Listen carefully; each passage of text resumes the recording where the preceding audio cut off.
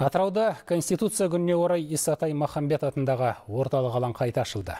Қаланың орталығында орналасқан демалыс орны толықтай жаңғыртудан өткізілген.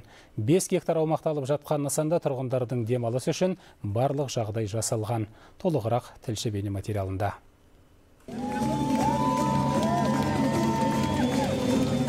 Небәрі бір жылдың ішінде алаңның елу мың шаршы метрі түбегейлі жаңартылды. Бұрынғы бетон төсеніштердің орны табиғи мәрмәр таспен алмастырылды. 8 мың шаршы метр аумақ жасыл желекпен әсемделіп, нысанның айналасы түрлі жарық шамдармен көмкерілген.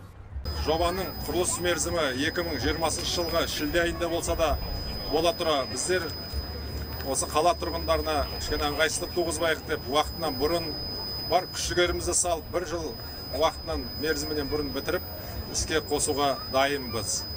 Ендігі осы алаңымыздың өміршең болуы ол бәрімізге байланысты.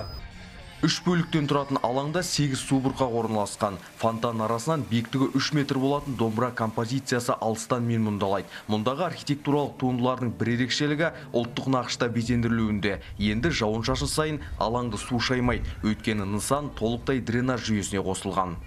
Өте әдемі қалған екен. Көптеген өзгешеліктер бар. Мына фонтандары да әдемі екен келім салған. Сол семьямызбен жүрген сол қоректеп су бұрқақ өте әдемі салынған. Осында және де мына айналадағы жақсы өзгерістер балалар ойнайтын алаң жастар қыдыратын алаң өте өзінің ерекше жақсы үндесіп тұр бір бірімен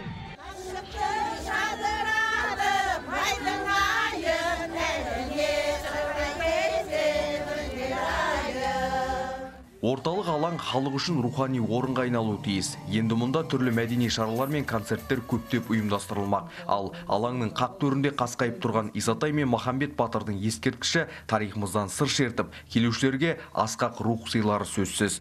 Атыраудан Жандос Темірғали, Өнірбек Жаңабай, Қазақстан ұлттық телеарнасы.